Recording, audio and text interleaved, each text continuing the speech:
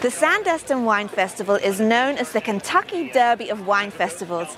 It's a picture-perfect event complete with white tents, the tasting of hundreds of wines, Gulf seafood and other culinary treats, live music and ladies strolling in beautiful hats.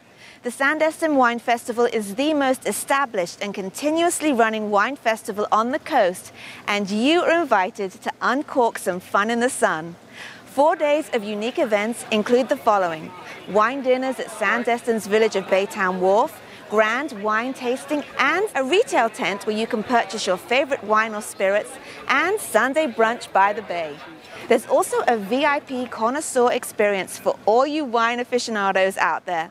And because of the strong demand, high ticket sales, and community support, I encourage you to purchase tickets early before sessions sell out. Now, proceeds will be donated to the Fisher House, an organization that provides free or low cost lodging to veterans and military families receiving treatment at military medical centers. For more information and ticket sales, please visit sandestinwinefestival.com.